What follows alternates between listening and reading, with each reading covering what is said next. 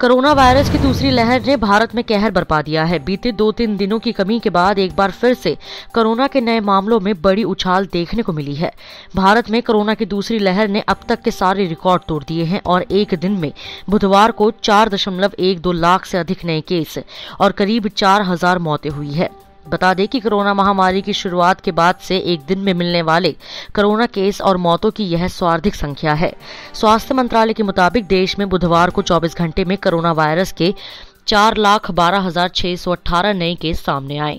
वहीं एक दिन में कोविड 19 से रिकॉर्ड तीन हज़ार नौ सौ बयासी लोगों की मौत के बाद इस बीमारी से जान गंवाने वालों की संख्या दो लाख तीस हज़ार दस से अधिक हो गई है। केंद्रीय स्वास्थ्य मंत्रालय ने बताया कि इन नए मामलों के बाद कोविड 19 के कुल मामले बढ़कर दो करोड़ दस लाख चौसठ हज़ार आठ सौ बासठ हो गए हैं।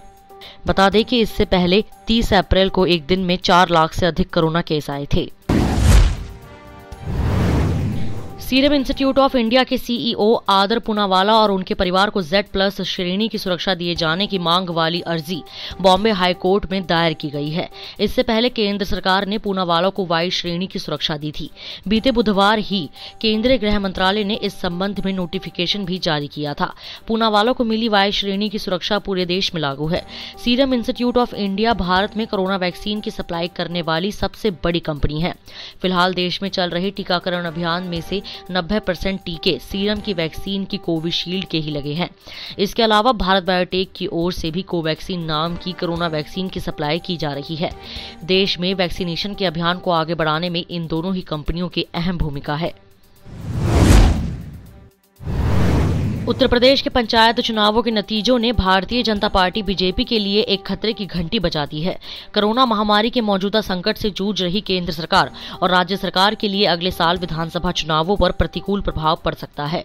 इस राजनीतिक गतिविधियों से अवगत लोगों के अनुसार सरकार ने अब विधायकों और सांसदों से कहा है कि वह सोशल मीडिया पर किसी भी आत्म प्रचार से पहले ऑक्सीजन प्लांट्स अस्पताल के बेड बढ़ाने और दवाओं की खरीद को बढ़ाने के लिए कोशिश करे।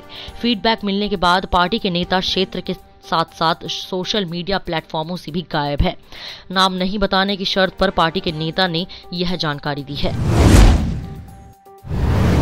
सड़क परिवहन व राजमार्ग मंत्री नितिन गडकरी ने कहा कि देश में 270 किलोमीटर लंबी टनल बनाने की योजना है।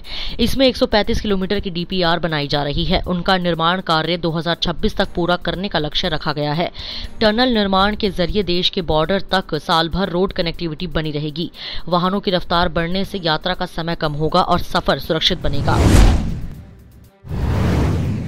दिल्ली में होम आइसोलेशन में रह रहे कोविड मरीजों के लिए सरकार घर पर ही इमरजेंसी ऑक्सीजन देने के लिए केंद्रीकृत ऑक्सीजन पुल बनाएगी। यह पुल जिला अधिकारियों की निगरानी में काम करेगा। जिला अधिकारी के पास ही कोविड मरीज़ की गंभीरता को देखते हुए तय करने का अधिकार होगा कि उसे घर पर ऑक्सीजन देना है या नहीं। फ़िलहाल सभी ज़िले को स्वास्थ्य विभाग ने बीस बीस ऑक्सीजन सिलेंडर का कोटा दिया है। दिल्ली में पचास हज़ार से अधिक मरीज़ होम आइसोलेशन में है। अभी अगर उन्हें ऑक्सीजन की ज़रूरत पड़ती है तो वह अस्पताल की तरफ़ भागता है।